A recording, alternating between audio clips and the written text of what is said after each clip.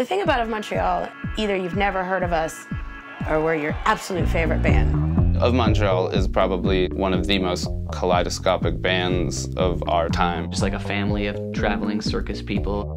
I like that we are some sort of escapist reality for these weird kids who latch onto us as sort of an identity. It's a celebration. Kevin is a weirdo, and it all starts with Kevin. We'd have done anything to get him to go to college, but his whole focus was on music. He would just record all the time. If I wasn't recording, I'd just be going nuts. People can throw it on at a party, move to it, but if you listen to it, it's a man like in a dark plea for his own sanity.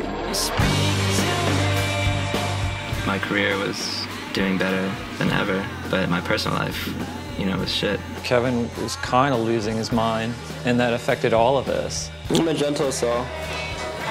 I've never hurt anyone. There's an image presented to the world. Behind that, there are a lot of contradictions, a lot of cruelties. I got used to the idea of people coming and going. I never thought I would be one of them.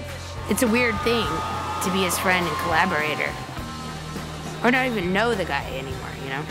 You know, that hurts like hell, but oh my God, it's so good.